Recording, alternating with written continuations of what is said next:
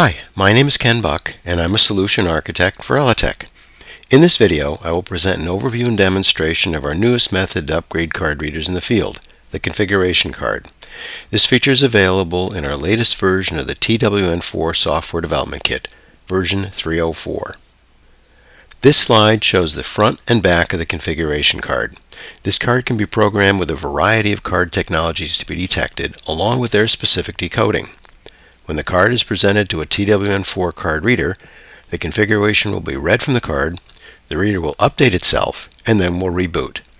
Total time from detect through reboot is about 3 seconds, which I'll demonstrate later. The front side of the card contains space to label the card with the particular configuration it will invoke, while the rear of the card contains instructions for use. The card is reusable, so caution should be used in labeling should you wish to change the configuration of the card. Basically, we don't recommend use of a permanent marker. Cards are printable, so if you have a card printer, it can be used for this purpose. Cards are sold in packs of 10. This slide shows four configuration cards, one blank and three which have already been configured. It shows one way to label the cards using an inexpensive label maker. This label can be easily removed should you wish to reuse the card. For the cards shown here, one will configure the reader to only enable Indala, Nexwatch, and GE Proxlite, while another will detect two flavors of HID Prox and iClass. The third will detect two flavors of Prox and will retrieve my name from MIFARE memory. We will program the fourth card in the demo. The demo will use each of these cards. Shown here is an Indala card, a GE Proxlite, three different flavors of Prox, a 26, 34, and 37 bit, an HID iClass Seos card, a Nexwatch, and a MIFARE Classic card, from which we will alternately read the UID and then we'll pull my name from stored memory on the card. Normally we would start our demo using the TechTracer application to determine each card technology and the length of data on the card. We would then spend some time to determine how to decode the number printed on the card. For the demo cards, which have a number printed on them, we've already determined the decoding and have labeled the cards appropriately. I still want to take a minute to install TechTracer from this dev pack because it does have one new feature. Let's navigate to the 304 development pack and open AppBlaster.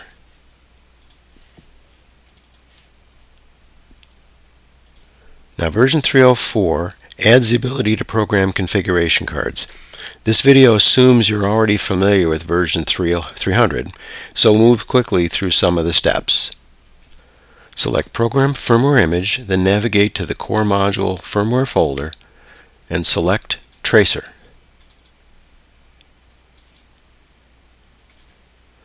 Select Open and Program Image. This will program the reader and it beeps when it's done. Note that the reader, when it's in TechTracer mode, uh, has a blinking red light. That's so that you know it's in that mode. Okay, let's swipe the cards. HID Prox, MIFARE, Proxlite. I won't go through the whole stack. What I'd like to show you is one of the blank configuration cards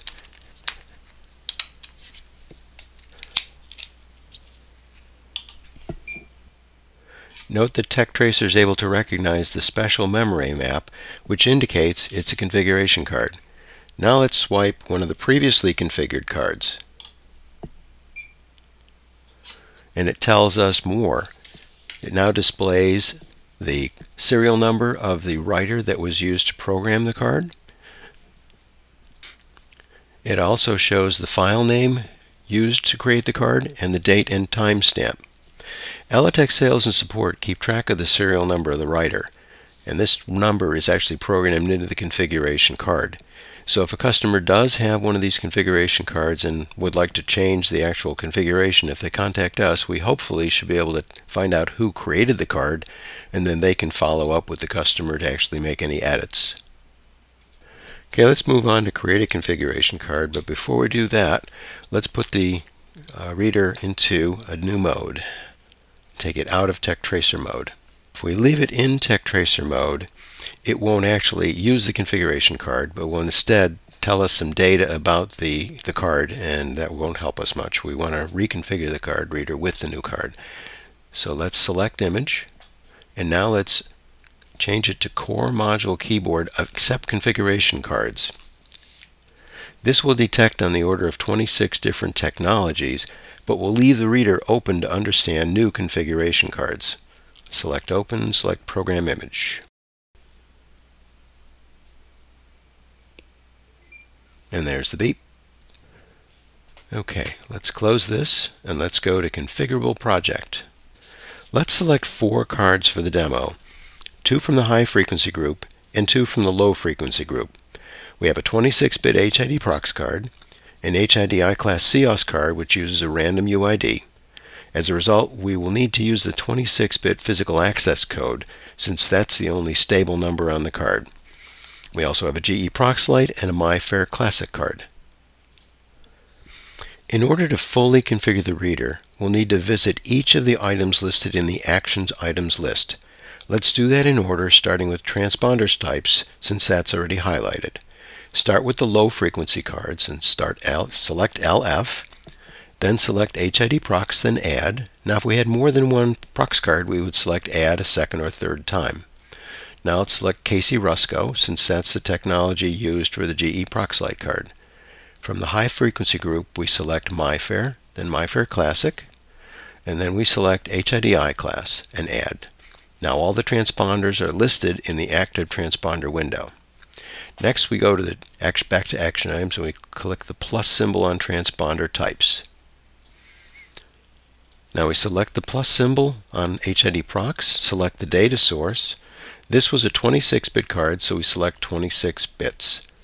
Then we go to output format, and we're going to decode this as a standard Wiegand card. So some bits, first bit 9, we want 16 bits of data, decimal output 5 digits. Next is the Casi-Rusco card. The data source, this is a 40-bit card. It has no number printed on it, so we're going to take the output and we're just going to send it in decimal. Next is the MIFARE Classic card. We select data source and we're going to use the UID. If we did want to retrieve something from memory, we would select data. We would then select the key used to lock that memory segment. These are the four default keys, but here's where you would put the customer key in. Select whether it's an A or B key.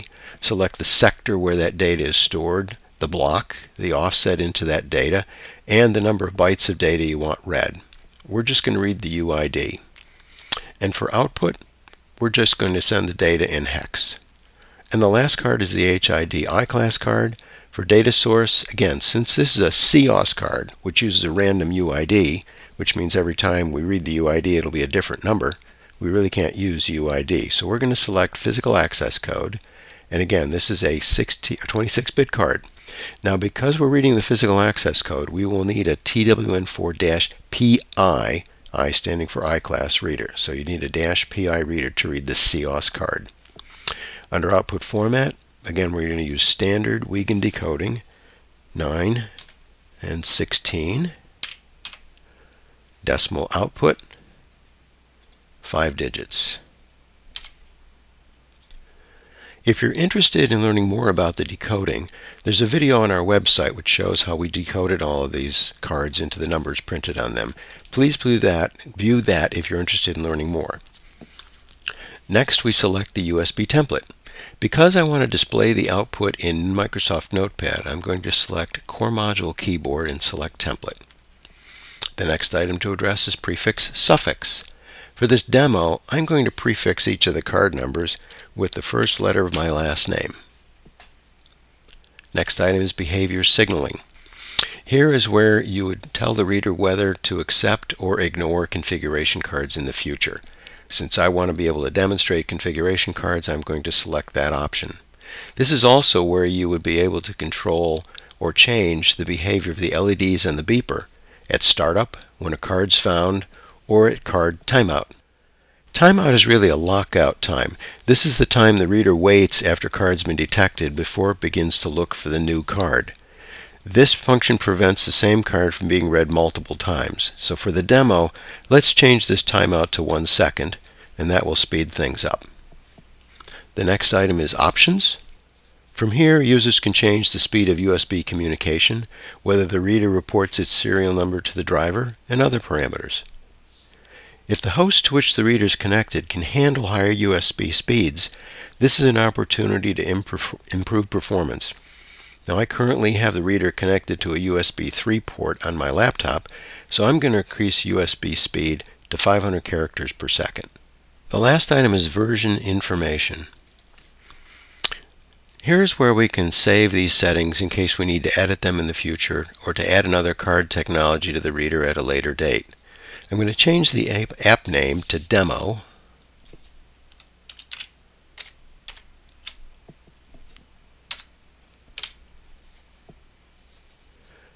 and I'm going to change the description to something a lot more illustrative. 26-bit Prox, 26 Seos, ProxLite, MIFARE, Classic, UID. And that way later on I can determine what I had in mind for this configuration. We'll select Save. We'll navigate to the Applications folder. And that's where we'll store this file. Select Open, then Save. And the file has been saved. Select Create Image, and that will cause AppBlaster to compile the application and check for errors.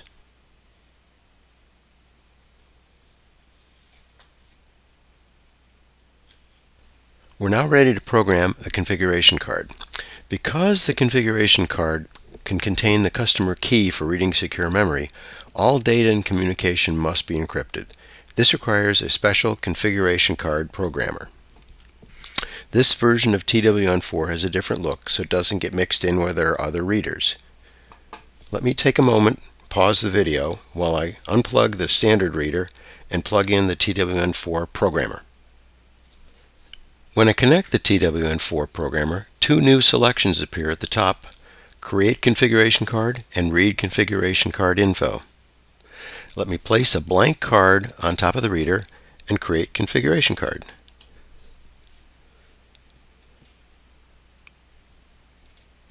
When I do that, it once again compiles the image, and then it will program the card.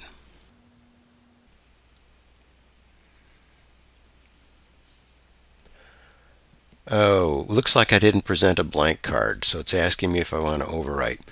Well, I don't remember what I put on this card, so I'm going to overwrite it. Um, this kind of shows why you need to label all of your cards. And when it's complete, it says done. And you'll note it presents the serial number of the card writer, and it also shows the file name that was used to create the file. So at this point we have a program configuration card. So let me unplug the writer and plug in the reader. Okay, let's open Notepad. Recall that we last programmed the reader to detect all cards, so let's double check so we can see how the behavior changes when we present the configuration card.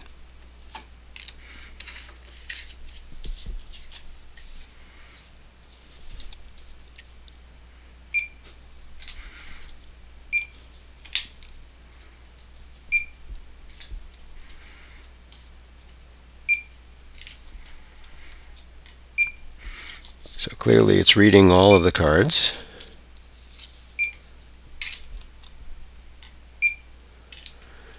Okay, now let's present our configuration card. Okay, the reader's been reconfigured. Okay, let's test that uh, the configuration card worked. Remember, the configuration card we made should understand the 26-bit Prox, Seos, ProxLite, and MIFARE, and it should ignore everything else. It should also prefix with a B. There's our first card, our Seos card, our ProxLite card, MIFARE UID, and it ignores the rest.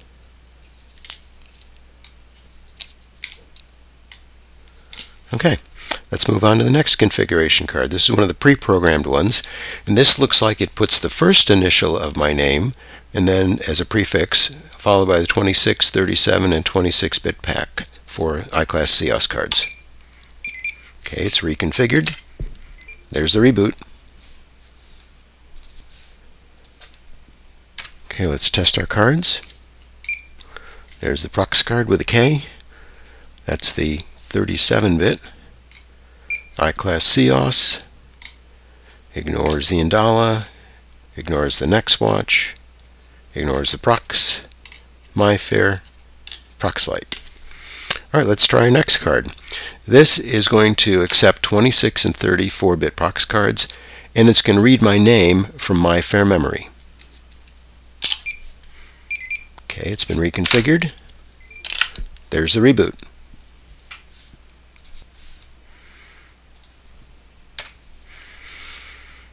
Okay, there's our prox card. 34-bit. MIFARE UID. Oh no, this reads my memory. That's right. And then it's ignore the rest.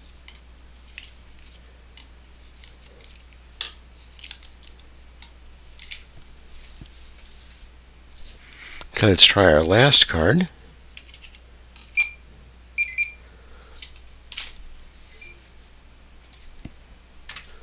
Okay, and that one should understand Indala. Nexwatch. ProxLite. And it should ignore everything else.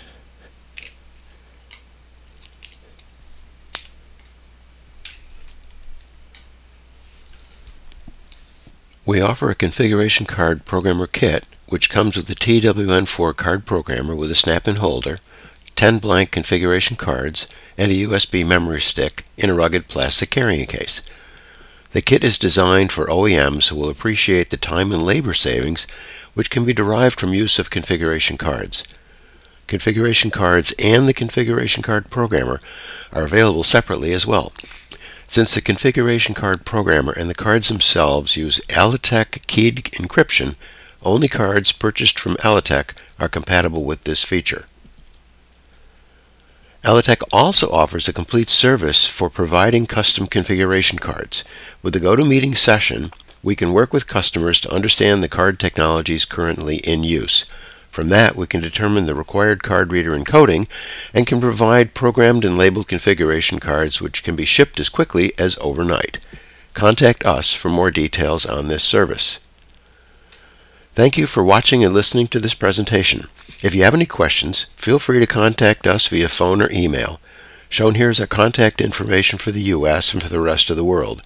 Also shown is our email address for any support questions you may have. Thanks again for watching.